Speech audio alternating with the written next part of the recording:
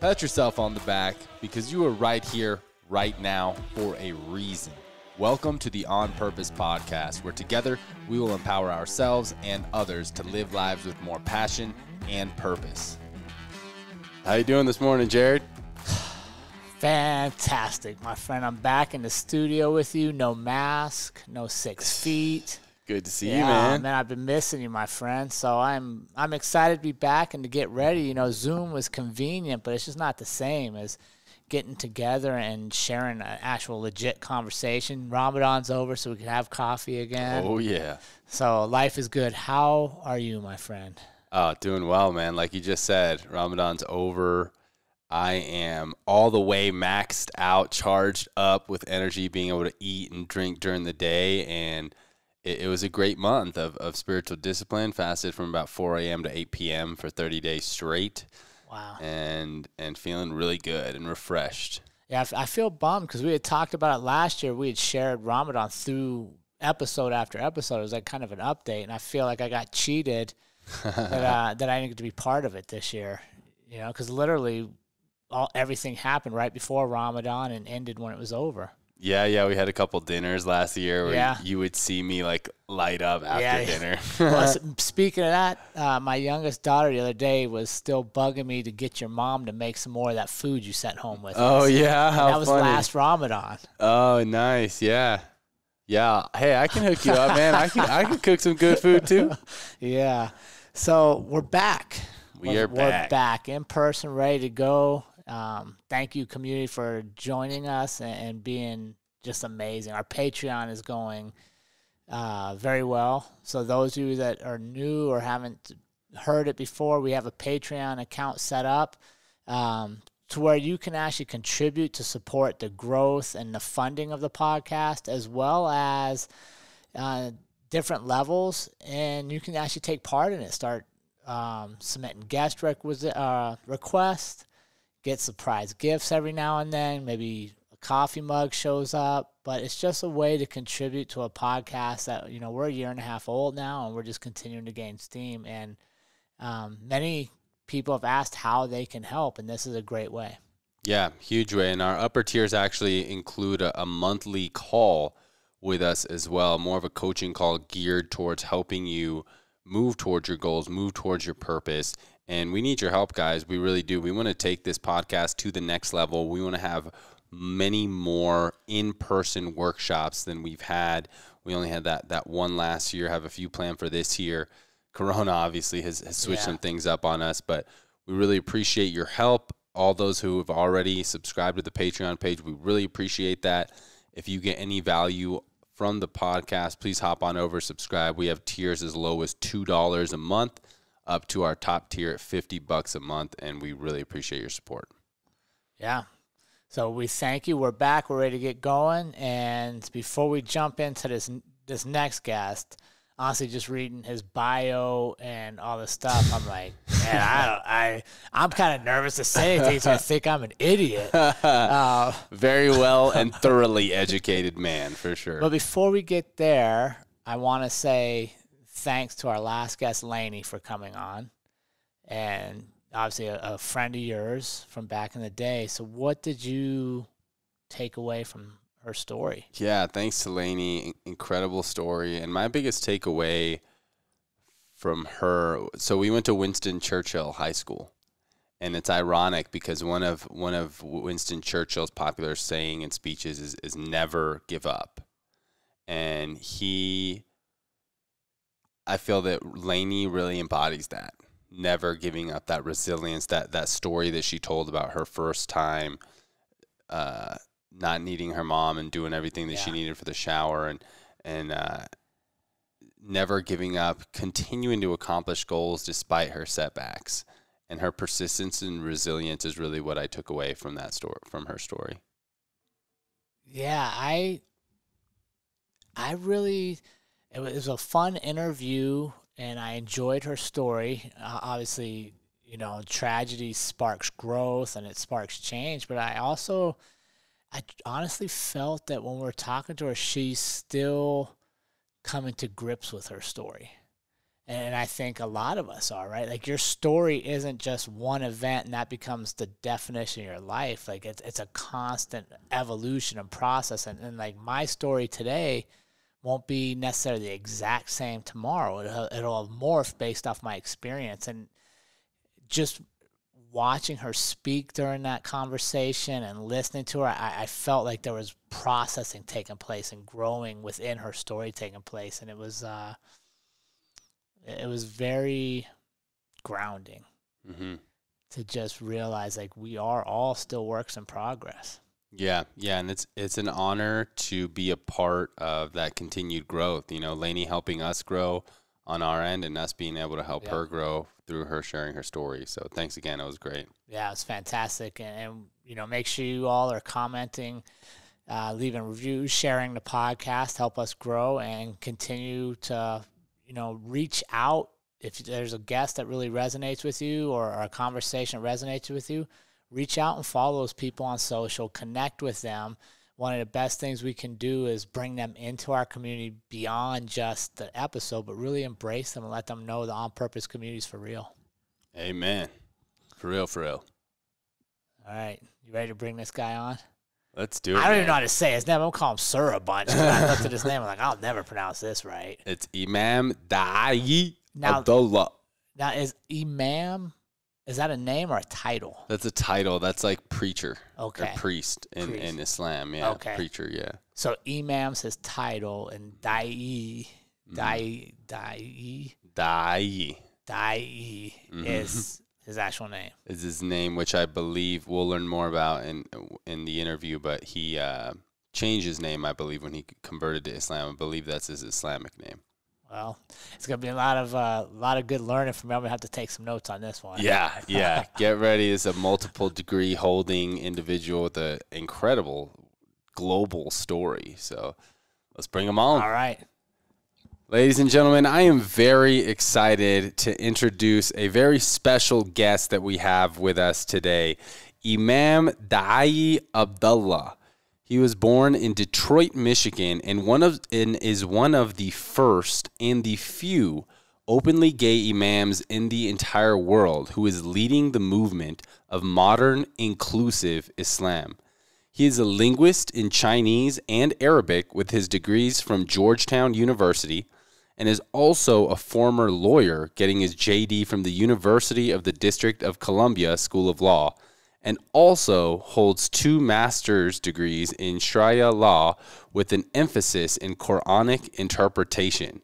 So we definitely have a lot to learn from Mr. Imam Daayiee today. Welcome, Mr. Imam Daayiee. How are you doing this morning? Very well, thank you. And salam. And thank you for inviting me. Uh, it's a ple- uh, privilege to have you on the show, and I am excited to learn more about your story and share it with our community. It's fascinating. That's a great intro. yeah, hey. definitely. And great timing. The time of this recording is actually right after the holy month of Ramadan, where over 1 billion Muslims around the entire world practice observing a month of high discipline with fasting reading Quran and and taking their spirituality to the next level. So, right in time, Imam Daayiee. How was your How was your Ramadan?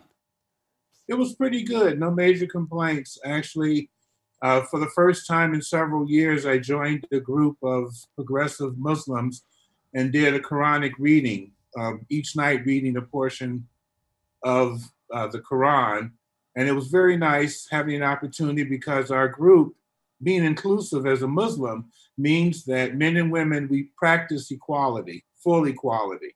So we have women who will uh, call the adhan, lead the groups, and various other aspects, even do the khutbahs, things this nature. So it was really nice to participate with a number of people. And we were from all over the country, United States. So it was very nice to have this Quranic reading and each night having an opportunity to share with each other uh, the readings as we went through.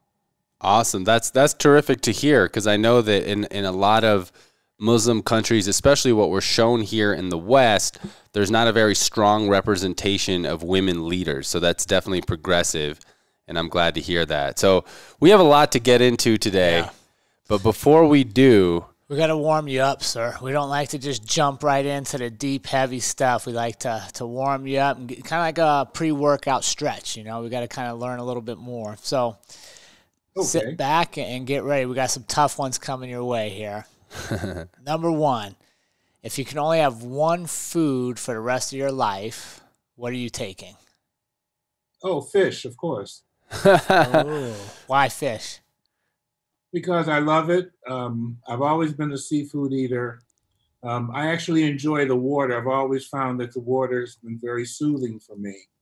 So, and my astrological sign, I'm a Capricorn, so I'm half fish. So, Makes sense. fits in. is there a specific fish? Red snapper, catfish, trout?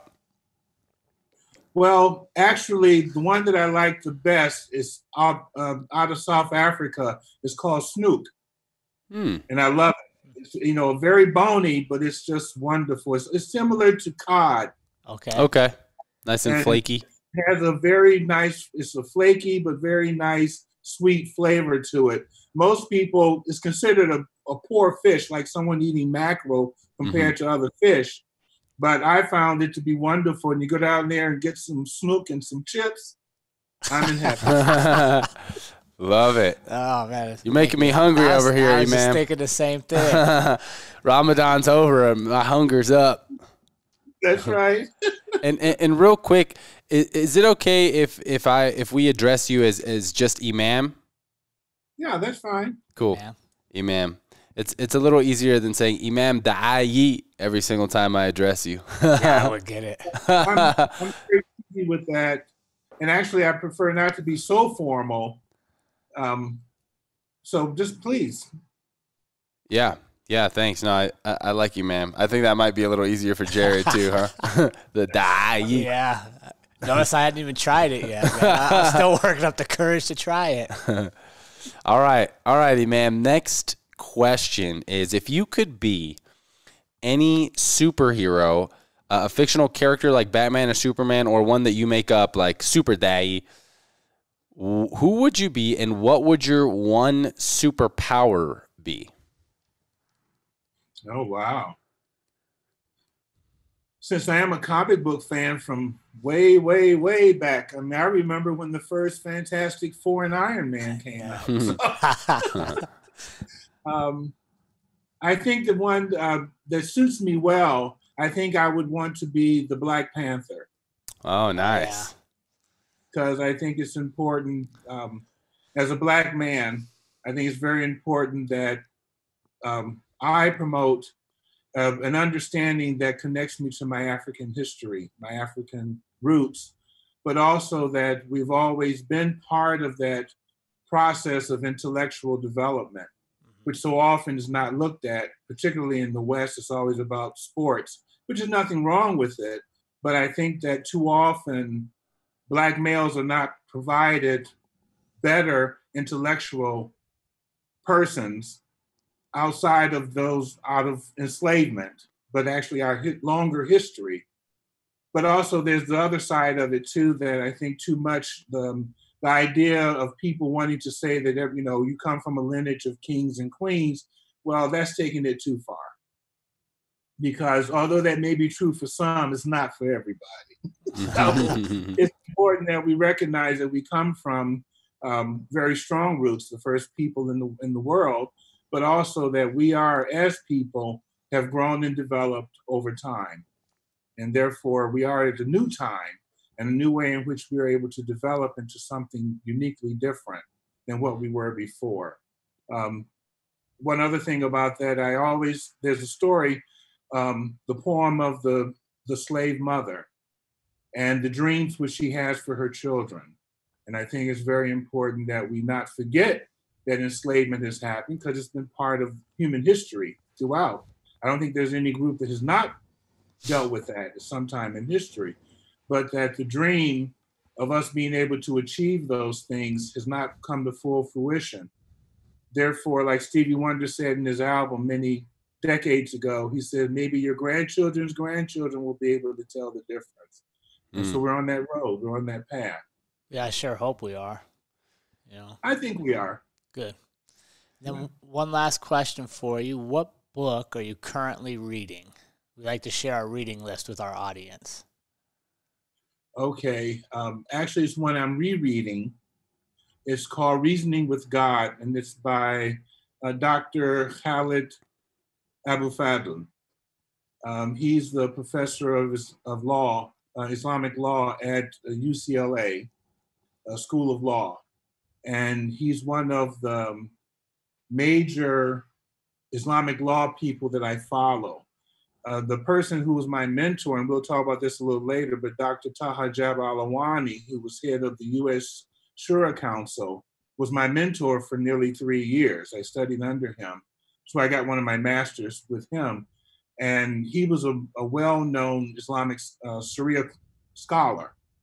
And so I consider Dr. Taha, who's now deceased, he's been deceased about three years now, and Dr. El Fadl um, to be on the same state, the same, um, they're contemporaries and same quality of understanding in Islamic law.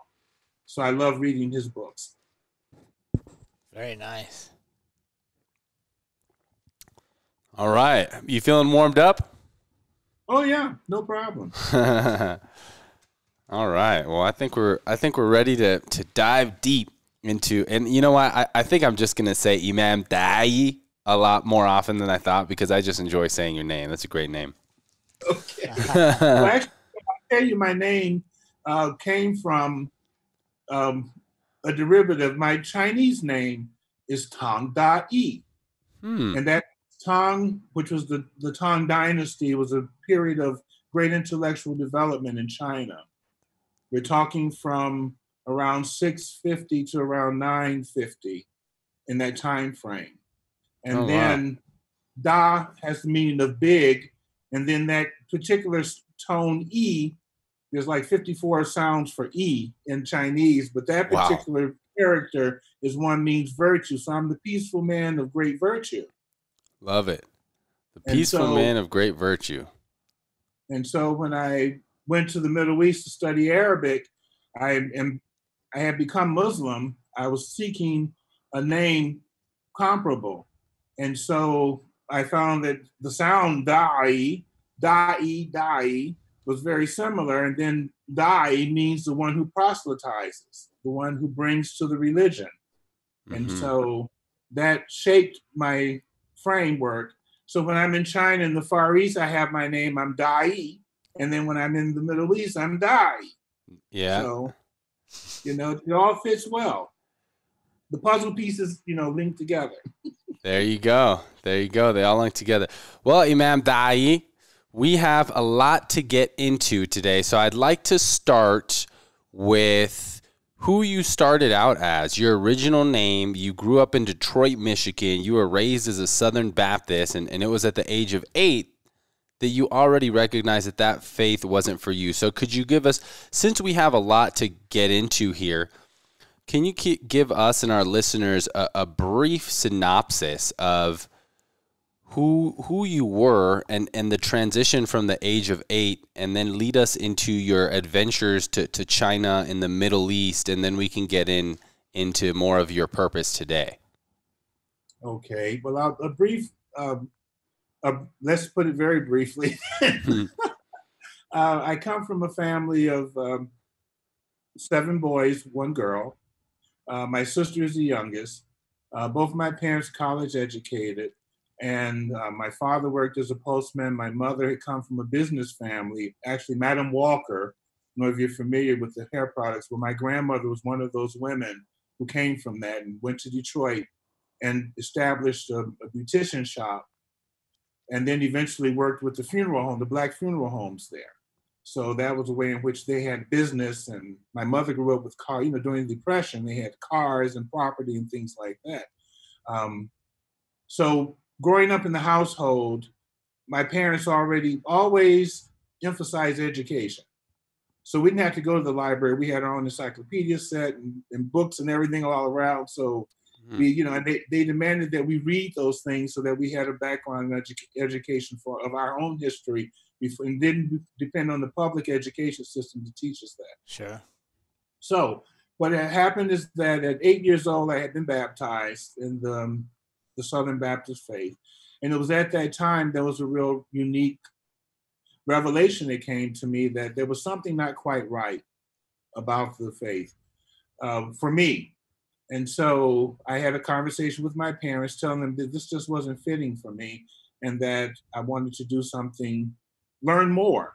And so my parents, being who they were, they said, well, it's not the faith that you follow, but that you have something to hold on to because we as human beings, at times, because of our failings, that we need something to hold on to.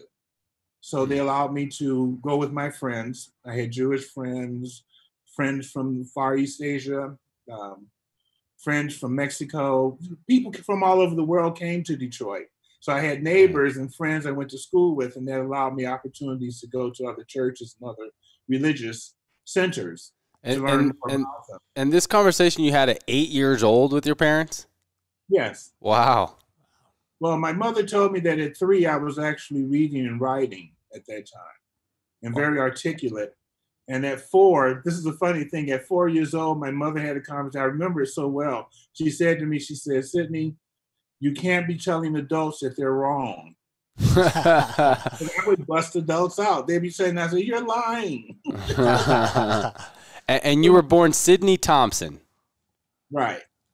And so that's what she um, she taught me. You know, she said you have to learn how to um, learning. So we we had an agreement that uh, I would always, if I was in the converse in the place with other adults, I would look to her, and if she nodded okay, I would say what I wanted to say. If not, I would be hmm. quiet. wow. So that that was part of the thing. But in my learning to grow and understanding other parts of the religion, other religions, I had a good friend uh, in elementary school. His father was black, his mother was Korean. Um, and so I had a chance to go to their home a lot. We would play, you know, we would do exchange dates and things like that. And uh, I learned about Buddhism through them because they were practicing Buddhists. So it was through that process I got exposed to Buddhism. Uh, Judaism, I had a good Jewish friend, and I would go to his house, and on their their, their holy days, things this nature, um, I would understand what was going on. Even got invited to the, the synagogue, and they, they were Orthodox um, Jews, so I got invited to that. Um, various types of Christian backgrounds, and Episcopalian, evangelical, those things as well. And I still I didn't find anything. And about around the time I was ready to graduate from high school, I found metaphysics. And it was there that I found a place where I could sit and better understand myself through metaphysics without a designation of any particular religion, but understanding there was universal law. And it was through that process that allowed me to find a place of peace and connectivity that didn't ha- I didn't have to identify.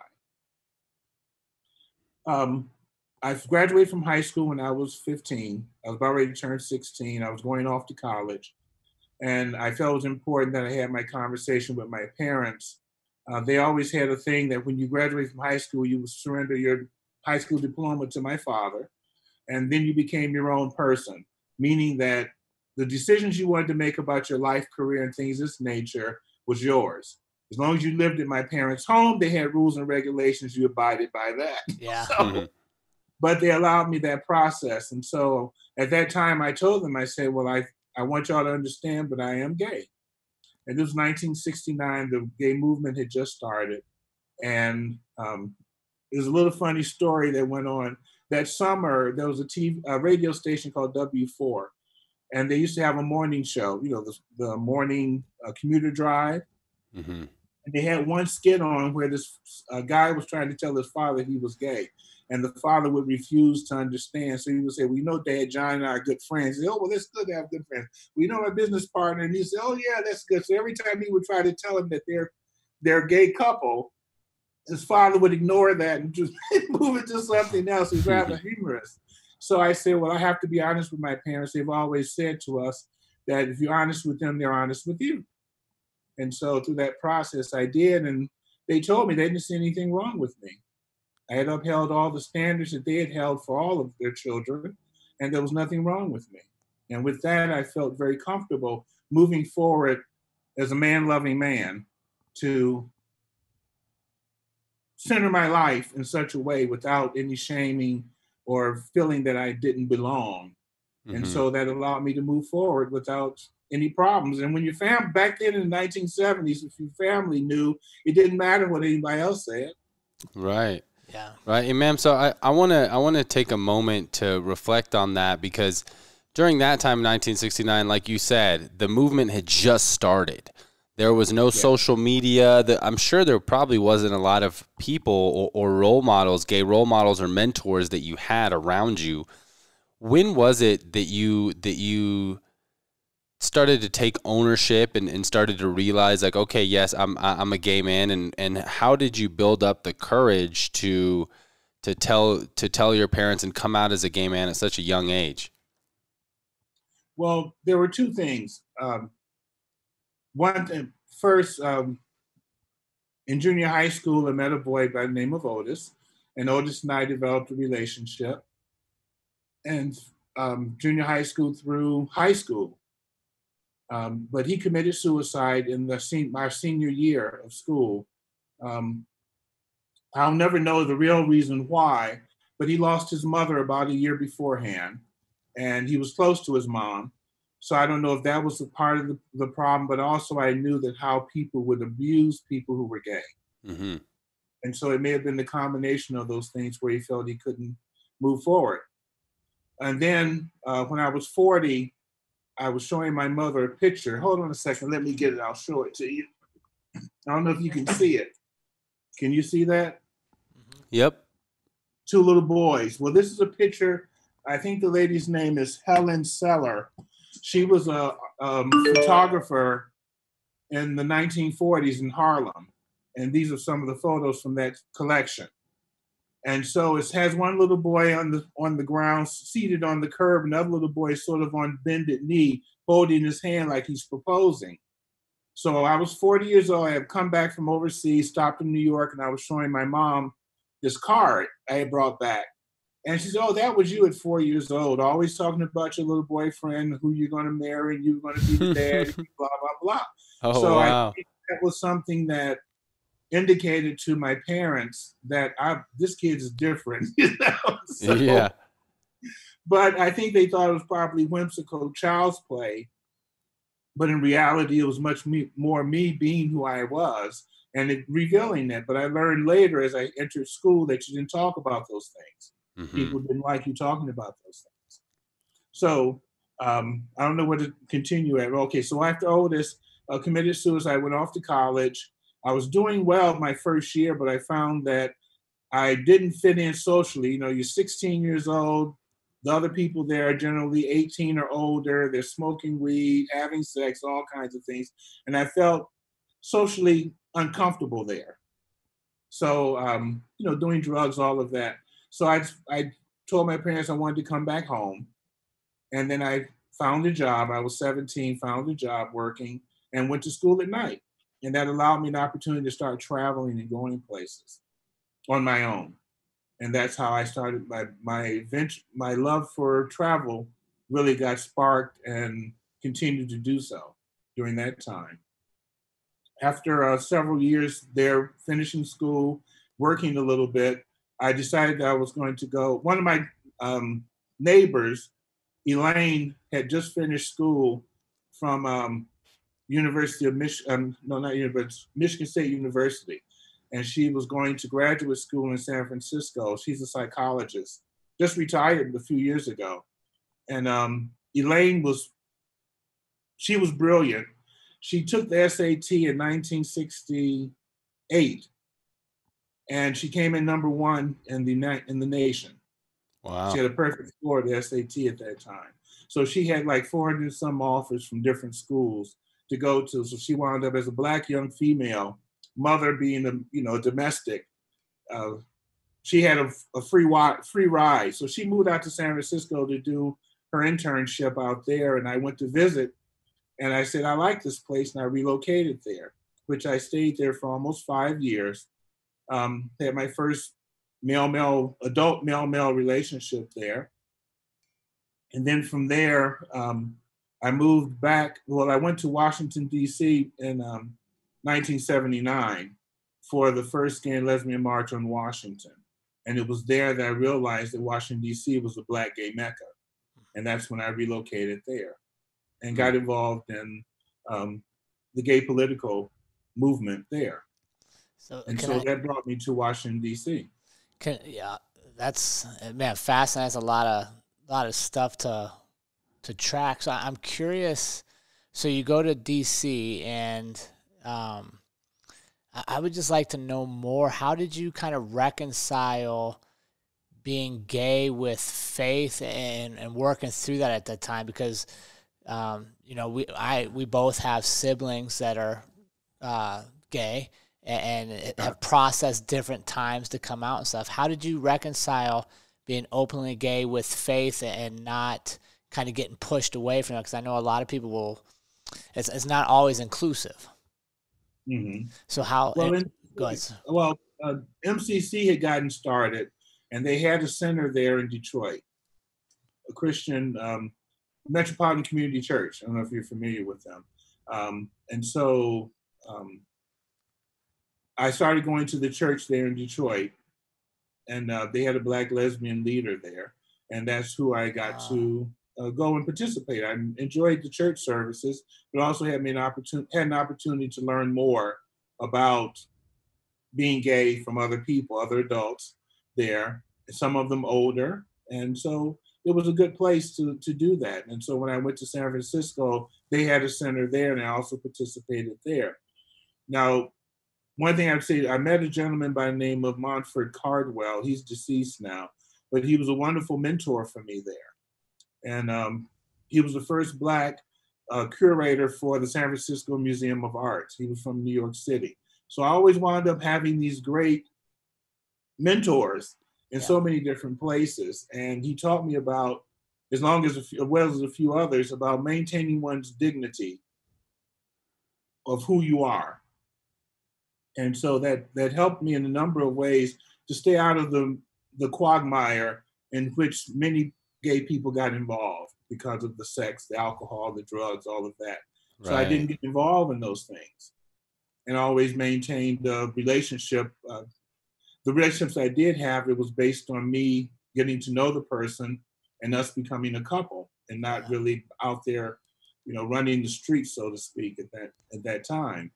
And, and I so go ahead. I, I, love this, and I, I, think it's a great point for our community is um, that just because you don't do things the same way everybody else does doesn't mean you have to be by yourself, right? Because okay, so um, your your path was different than a lot of your peers. It was different than a lot of people around you. But I think it's sometimes when we start doing things differently, it's easy to isolate ourselves or to think like there's something wrong with it. Why am I doing this when everybody's doing that? But I love how you constantly sought out mentorship and advice from people that were on a similar path. And I think that's one of the lessons we really try to stress with our community is you don't have to do everything because everybody else is doing it. Be yourself and when you do that and you accept it, you're going to find that there are many other people, no matter how different you think you are, there's other people doing the same things that you can learn from. So I I love hearing those stories. And what I'm hearing is like constant mentorship and constantly finding somebody that had kind of set a path for you to follow and then you could take the path further. Yeah. Very true. Yeah, and, and, and that's incredible because you were truly a pioneer during that time you know, in 1979, I think you mentioned that that was the first gay and lesbian march in in DC. So that I mean, the, these are pioneering times. And again, we didn't have social media. We did we there wasn't an a there really wasn't a way to connect with other people unless you showed up. Yeah, you had to put effort in. Right. right. You couldn't just go Google search a group or find it on Facebook or something. Like you literally had to go out and and really, I mean, honestly, you had to take some risk. Big risk. Right, to say this is who I am because you, you kind of thought you were in the right circle, but you could be rejected easily there. Yeah, yeah. So, Imam, I want I want to take this conversation because we have we have a lot to cover here with with everything that you just shared with us. and you had such a robust background of religion in your life from having Jewish friends, growing up Southern Baptist, going to different churches.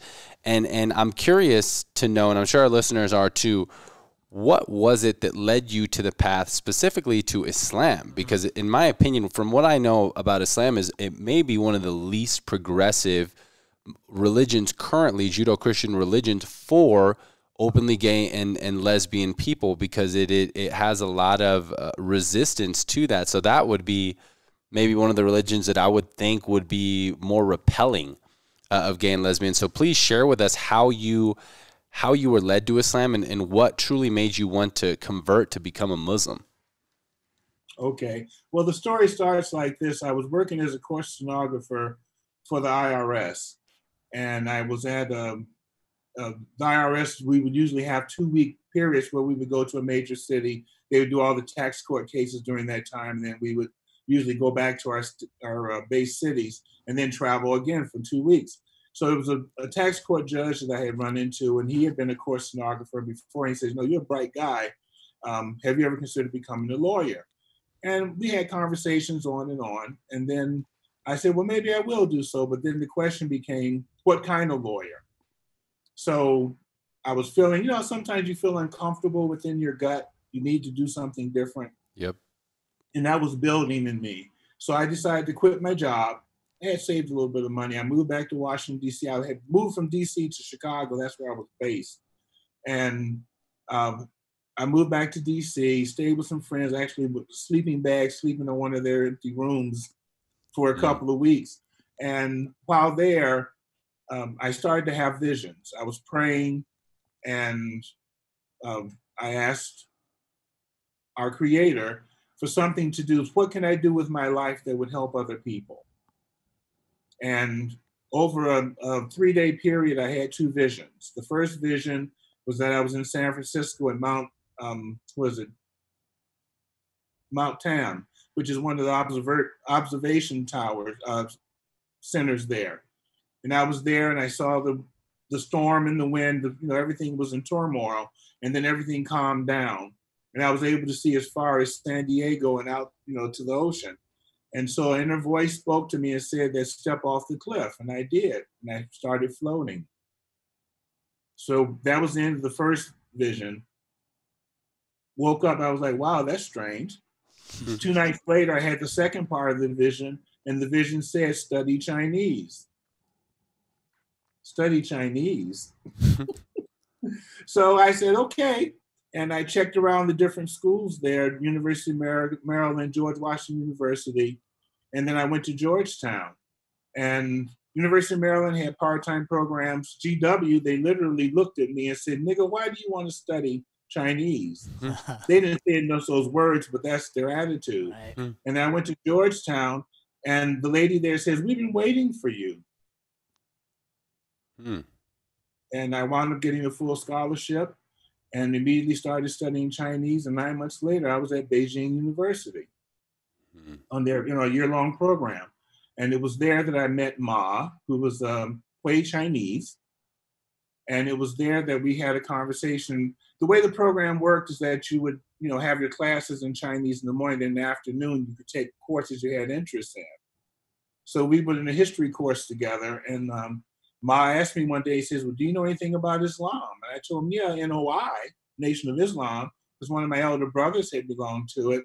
And also, I had learned about some of the Wahhabist uh, things that were coming out of Saudi Arabia, the Gulf.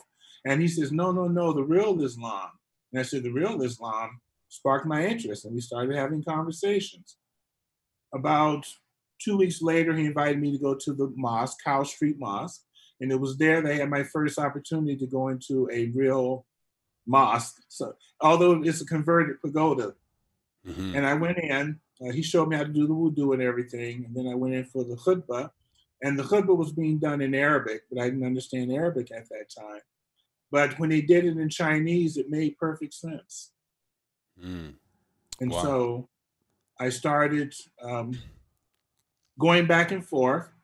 About every two weeks or so, I would go for the um, for the khutbah, but also spending time with him and some of the other Muslims. There was a, a Uyghur guy from the from Xinjiang who was Uyghur, who we would talk and things like that. And then um, about two months later, Ma gave me my first Quran as in Chinese and Arabic. Oh, cool. still have that Quran today. I've um, never seen one so, of those. well, it's a great. It was a great book. It, I mean, it's not. It's a translation. It's more like a a tafsir for the Arabic. Mm, I got you. So, Imam, was there? So, for our listeners, the khutbah, the khutbah is is this sermon for for the Friday prayer, and yes, lecture. You know, sermon lecture. Exactly, the the lecture sermon, and and what was it about that first one that you heard in Chinese that you feel made sense? Because what fascinates me, and, and I love how you said our creator, right? Because at that time, it seems like you, you were praying to to our creator and had so much influence. You knew you weren't a Southern Baptist. You, you had studied Buddhism, Judaism, a little bit about NOI and, and different sects of Islam, but you, you kind of were in this place where you weren't you, you weren't uh, nothing made really good sense to you. So what what was it about that khutbah that that really made sense to you? Well, it wasn't so much the khutbah per se, but it was actually the practice of prayer that mm. made the significant difference. I found over time that the process of prayer, salat, mm-hmm. was what made the significant difference for me because when I would do the prayer and I would do the sujood, when you bow your head down to the floor. It was there that I would release all my tensions and questions and turn them over to God. And it was through that process, it became much more peaceful because as I released the questions, when I would sit back, I would be open in space. My head space would be open. Mm. And then sometimes I would get an, an instantaneous response to my question. And other times I did not, but I was so at inner peace, I could wait. And it made a significant difference because the other faiths, I always felt I was supplicating. God, will you do this? God, how are you going to ah mm-hmm. noise, nothing but noise. But there, it was through this process of prayer that it left me with a lot of inner peace. Mm. Yeah, definitely. That's that's one of the unique differentiators of Islam is is the requirement to pray five times a day in in a unique fashion, which you are using the body somewhat similar. I, I like to compare it to to a, to a not as mobile practice as yoga, but a synergistic kind of synchronicity with your prayer to where you are rising oh, yeah. and, and bowing down your head. So that's that's interesting. I appreciate you sharing that. Yes. Eh, eh, so so you you find Islam in China. Yes. And then you progress in, in, your studies and you end up in the Middle East for a while as well? Well, two things that happened. Um, the China, the, the Islam I found in China, the people were very peaceful. They were much more welcoming. They were very intuitive. I was able to communicate with them about a majority of things. We're looking at a total different philosophy that dealt with Taoism and Buddhism and now Islam and a mixture of all those cultural things together. So I found it very peaceful. But when I went the following year, I went to Taiwan for another two and a half years to continue my Chinese studies at um, Taiwan National University. And there in Taipei, there was a Saudi mosque. And it was there where I immediately saw the difference. Um, it was very problematic. And so it was through that process that I was able to see a big difference. And one of the main problems that came was that through this process, um, the imam's son had just been returned from Saudi Arabia. Um, he had been there several times, but had been returned for the third time for having been caught having sex with other guys there. So they sequestered him and really abused him. It was very difficult for him. I could see it on his face, the pain and things of nature, but there was no language I could do with him at that time that no one else at the mosque knew. So I never had opportunity to speak to him and tell him I'm like you. Uh, mm. So it, it it showed me that that was a very exclusive, non-welcoming aspect of what Islam was versus what I had learned in, in mainland China or in China, um, where they were much more inclusive. Yeah. And so made a significant difference. So, Imam, in your travels, I mean, you have to be one of the most unique individuals on the planet, man. I mean, I mean, you're you're an African American man who is a linguist in Arabic and Chinese, to where it's it's an extremely unique combination, and now you have the ability to connect, frankly, with the majority of the world. Knowing Chinese, yeah. knowing Islam, I mean that that alone, we're talking nearly three billion people on the planet uh, that that study Islam and, and that are Chinese speakers. So can you tell us now now with these skills, what is it that you are doing to fulfill your purpose in life and and what specific event or events really made that click for you? Well, several things um, that led up each piece built upon the uh, the next piece. Of course. Okay? Um, after I left China, I went back to Georgetown for nine months, studied Arabic, and then I was immediately thrust into the, the Levant. I was in Cairo a year, Amman for a year, and Damascus for a year. And it was there I had an opportunity to live with a variety of different Muslims. They are both coming from Africa, the Levant, and from Southeast Asia and Asia. So it allowed me an opportunity to meet them in the, the region in which Islam sprung. And it was through that process that I got to understand people and that understood that Islam was very much related to how their culture absorbed the faith. And so it was through that understanding. For example, in Damascus, all the women veiled, no matter what their religion. Mm. So you saw to see how the cultural mixture helped, you know, certain cultural things was for everybody and it helped me better understand that Islam was not a monolithic type of thing, but it was something. If you looked at it progressively, you could see that it was a immersion of so many different things of different cultures from the region, and people coming from other places. So that made a significant difference for me, and so that led me to better understand that there was something different. And after I came back and then started law school, that was when I um, I said, well, what am I going to do in terms of law? I went to a public interest law school, and that taught me to, to better understand. I spent two years at Michigan doing my master's and in law school there, getting public, you know, um, public policy training as well. And what it wound up doing for me is that it allowed me to say, okay, there's something out here much more important, and that's why I got interested in international public interest law and which led me eventually to doing some work um, in the Netherlands. So many years later, for uh, LGBT people who were coming from Muslim countries, who were migrating or who were trying to find refugee status in the Netherlands. Mm. And I found one of the problems is that often the UN and those different uh, courts there, they would use a person who spoke the language to be a translator, but those people generally had no training in the law. So they mm. would wind up, you know, giving the people stories that would be very limited, four or five pages worth of material.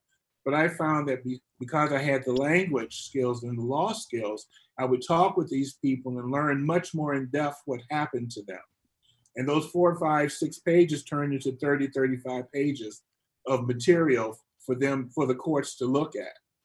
I was able to explain why at 12 years old they threw him down the steps because of the cultural hatred and how it shamed the, the family. Why the person was beat up and their arm was broken, or the daughter was thrown out of the home, you know, and they had to go live with a relative. Those kinds of things that was causing disruption in these people's lives because they were uniquely different mm. from the norm. And um, in one particular case, it was the first case they'd ever had a turnaround in less than 24 hours because I was able to explain. This guy had, he was Iranian, and he was on his his fourth court hearing. And if he didn't pass, they were going to send him back to Iran, which I knew he would get killed. And so I explained that to them in the in the brief, but I explained all the different things, and it made his six pages of history come alive. And the court agreed, and they they granted him refugee status. So it was that kind of thing, and actually started a template that helped a whole lot of others who were going into the Netherlands. So the good thing about it is that when I wake up in the morning, I know that my hard work and all of this training and everything helps me save people's lives. Wow. Yeah, because so, you, you you you literally did that with that case, and I'm sure that must be empowering, especially to see so many people, good people, you know, that that are doing nothing wrong, that just have a, a different sexual preference than than uh, you know a heterosexual person, literally being killed. And I'm sure that yes. can that, that can run deep and, and be very empowering to know that your skills can can save their lives. So I'm I'm curious uh, with progressive Islam. Are are you finding much resistance from the more traditional groups as you as you try to include more women and, and obviously being openly gay challenges some beliefs within the faith? How uh, uh, have you seen a lot of resistance, and if so, how are you handling that? Well, the resistance came back in the the actually the end of um, the 1990s. Uh, after I finished law school, I practiced law for a couple of years here in the states, and then I had an opportunity to go to Saudi Arabia to work for the Saudi Royal Air Force and be a teacher there. And that also also offered me an opportunity to go to the university there to study, to continue my Islamic studies. And so through that process, I learned a lot more. Uh, I was always getting in trouble at the school though, because I would come in and ask these questions of the professors, and many of them didn't know, but they got mad because I would ask the question. But I would always say, I'm here, I'm new, I want to know more, and I have the right to ask the question.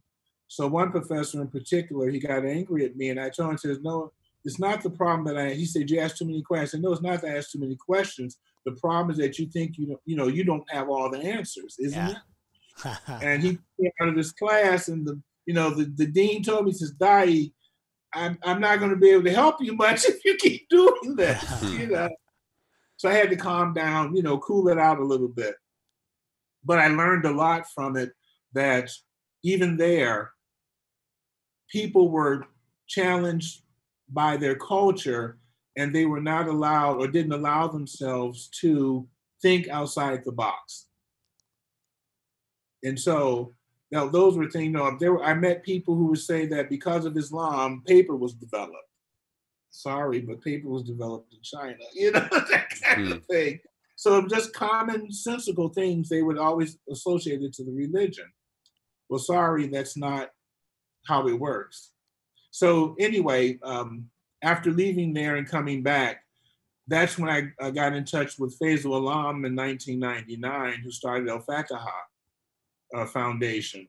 And it was through them that I got connected with a number of other, a few additional Islamic scholars who were gay and lesbian, and then also starting to meet a broader, sorry, broader community of people. And it was through that process that I got involved in the activism in terms of the LGBT Muslim community. Um, at first, it was challenging because people, they, you know, whenever people don't like something, they always want to challenge you and, mm-hmm. you know, we'll kill you and all of that. And I'm like, well, then come on with it. Because I would mm-hmm. tell them, I said, if you think you can do that to me, I said, if you get caught, I'm going to put your ass in jail forever. Okay. Mm-hmm. And I know how to do it as a lawyer. So come on with it. Come on with it. Never would turn out to be anything. But it was in 2000 that I started studying with Dr. Taha. And it was there that I started to, um, actually, I took over um, a fellow who was in, in um, Indonesia at the time and started Muslim Gay Men, which was on, on you know, a Yahoo blog group. And I took that over and I was starting studying with Dr. Taha. And it was at that time that I, uh, leading the group, being the moderator, we had people come in from various places saying it's wrong and this and that. Even this group called the Straight Way, which were reformed gay men from mm. the UK. And they would come up with all these stories, and I'm like, no, that's not true. So they say like, well, there's a term used fahisha, which means to be an, um, an abomination, mm. for example. And I says, okay, well, in the Quran, there's 11 different places where it's used, seven in particular usage. And I went through using that word in the Quranic text by translating that, because Dr. Taha taught me that you understand the Quran through its themes. Mm-hmm. There are general rules and there are specific rules. and most rules are for all of humankind. So I took that word and put it in several places and went verse by verse by verse. And I said, now, does this sound like an abomination? Does it sound like anything about homosexuality? And it didn't. So people were being taught things that people taught them. You know, they were being told these things, but because they didn't do their own research or didn't have the skills yeah. to do their own research and learn, that they were following the cultural understanding, not what the Quran was actually presenting. So, Imam, when because this is a big issue, you know, in, in Middle Eastern countries, like you said, gay, gay and lesbian people get killed for for coming out. Are there specific yeah. verses or or stories in the Quran? So, so what is what is the the text that you present when someone tells you the Quran or Islam says that being gay or lesbian is forbidden? What do you present to, to somebody saying that? Well, first of all, the in the Quran there are very positive statements about being gay and lesbian in there. And you have to not be so literal to understand it because many parts of the Quran is allegorical. Right, of course. For example, when it talks about spouse, it uses mate, companion, intimate companion, various other ways they relate to a spouse. Mm-hmm. So similarly, um, in uh, Surah 24, 31, well, actually the thing of marriage, 24, 30 through 32, talks about marriage. And in 24, 31, which is the verse that talks about women, the men they don't have to veil before, meaning their male relatives. And then there it says, and men who have no desire for women. So mm. it's not, you know, it's not rocket science to then say, well, what kind of men would they be interested? What kind of people would they be interested in? Right. It would be males. So then they and then I would explain, well, there are several types of males who may not have interest in women, but let's look at them.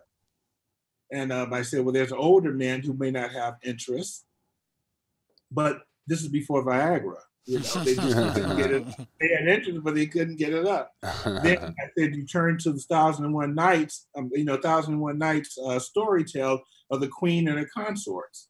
Mm-hmm. They had eunuchs who had been castrated. You know, the scrotums had been removed, but they still had apparatuses, and they they had the desire, and they were able to handle it. then yeah. you had those who just had no interest. And as a good friend of mine who's a bishop, uh, we used to talk, you know, chat, and he would say, "Well, uh, what are we supposed to do? Talk about fashion tips if you have no interest in a woman, you know?" well, the the thing is that it's there, but uh, generally speaking, I'll come back to that part 24, 32 in a moment. But when you go, when they talk about it, they always talk about the Lut or the Lot story. Right. And I remind them that actually the Lot story, the Lut story, actually refers to rape mm. and doing things to people, oppress people, to um, oppress them, to um, abuse them, things this nature. And I said, whenever you look at the story, the Lut story, it's always talks about the other societies that God destroyed for abuse and for oppression to innocence. Mm. Therefore, that's the real theme behind it. And each one of them did something different. So, what was it? It was the abusing of men without consent because it said that they were heterosexual men. These were men who had wives already, had children. So, it wasn't homosexual men. Even if you give it that there were some homosexuals up in there enjoying themselves, that was a different story because those were the ones who were abusing people. It was out without consent. Mm-hmm. That's not talking about people who develop relationships and are consensual in their relationship, sexual relationship. So um, if you jump back to 2432, it has a line in there. And you have to remember a lot of Qurans, they put parentheticals in there.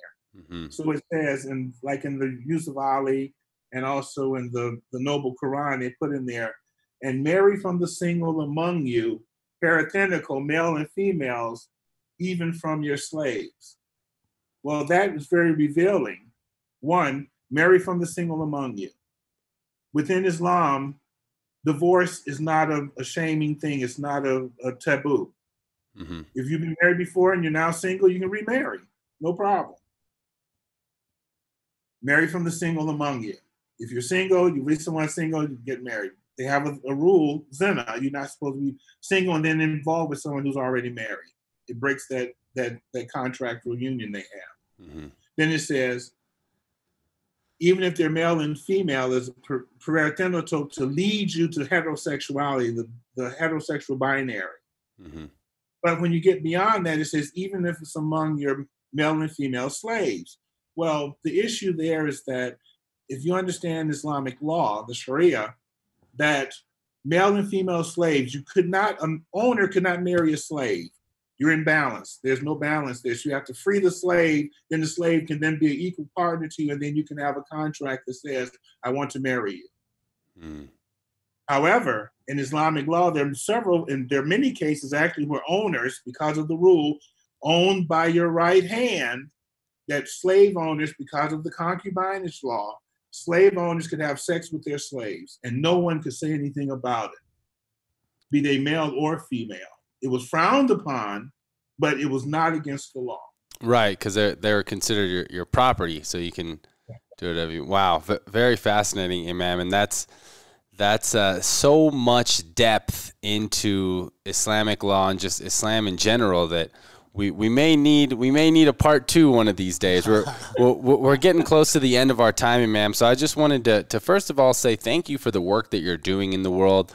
You truly represent something that Jerrod and I believe in here with the On Purpose podcast and encourage our listeners to do, which is question, question things that are brought to you and continue to seek truth and something that is so in depth like religion uh, specifically Islam and Islamic law, that, that you are truly questioning. You are truly helping progress the world for us to get to know each other better in two areas that, especially in the West, need more questioning and need more truth. You know, the LGBT community and the Islamic community. I think that, especially here in the West, we have so much to learn. And in that questioning and revealing more truth about each other, that's how we help each other grow. So, thank you so much for the work um, that I you like, do. Before, if you have a moment, I'd just like to say that um, people can look me up and, and follow my institute. It's the Mecca Institute, the Muslim Educational Center for Creative Academics, Mecca yeah. Institute, and we're a think tank that also has a school.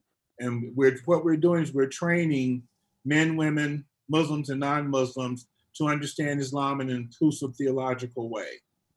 And so we encourage people to learn about it and come and study with us because our goal is to, this is my personal goal by the 19, um, what is it, uh, 2030. My goal is to have at least 50 inclusive mosques around the United States in North America. That way, people who feel unmosqued today mm-hmm. can then find a mosque where they're welcome no matter who they are Oh, I and love that. Allah, Allah. Yeah, you know, I used to run a mosque in D.C., and that was something that came. All kinds of people came. Many of them would wanted to have their children raised in a place where they felt comfortable, mm-hmm. that they didn't feel prejudiced. Women were given equal rights. Women could fully participate as well. And so it was something that they really enjoyed. And I want to see that happen for many people because people flourish. People respond. Yeah. How many are we at now? Inclusive mosques in the United States? Well, there are about five of them from different sources. Uh-huh. But um, and I'm very happy. I mean, I participated in many of them. There are women mosques in New York City and Los Angeles. There are um, unity mosques with Muslims for Progressive Values. One in LA, I think one in Atlanta. Um, there's another mosque in Chicago, here in Chicago, and then in, in Toronto, there's um, Salam, they have a mosque there and one in Vancouver. Gotcha. So they're you know mosques around the the the North America. Gotcha. But I'm trying to develop a much broader association of mosques so that we have a, a greater central, you know, central central formulation of what Islam means as an inclusive framework. Yeah, love it. Uh, we appreciate you being here. I definitely learned a lot today, and I'll if people want to contact me, it's www. D A A Y I E E at gmail.com. Okay. I mean, Gmail, yeah, gmail.com. and they can reach me personally. That's my personal email address, or they can go to uh, meccainstitute.org and leave a message there and read about our organization and our school as well. Great. We'll, we'll include that in the links to the episode. Yep, fantastic. Okay. Thank you so much for joining us. Note, uh, there's Mecca Institute, Mecca hyphen Institute is about the school, and then Mecca Institute, all one word, that's about the organization. Fantastic. Thanks so much for your time today. You're welcome. I look forward to our next conversation. There's so much more to explore. always, always. I love I love the curiosity of hearing people's stories. That's important. All right. Well, thank you very much for the opportunity. All right. Take care. Thanks so much. All right, team, as we wrap up another episode of the On Purpose podcast, we are thankful for having you all on our journey. We want to announce new ways to include you and let you go deeper into our community. First off, we got the onpurposepodcast.com website where you can subscribe to our monthly newsletter, get inside tips, and see what's coming up in the upcoming months as well as our new launch is our Patreon account. We have five tiers where you can decide at what level you want to contribute to the podcast and the community, help support us, continue to push us forward and grow. And it's as little as 50 cents an episode or $2 a month, all the way up to 50 bucks a month, depending on and where you want to be perks of this are sneak peek uh, episodes. You get the episodes quicker you get to contribute on episodes. You get monthly Q and A's with Ali and I and special guests, and you get to be a building block for our community as we continue to grow worldwide. With the release of Shelly Davies' episode, we are now international, and we're excited for the future leads us. So please fit in with us wherever you are comfortable. And remember, team life is far too short to live any other way than on purpose. We'll see you next week.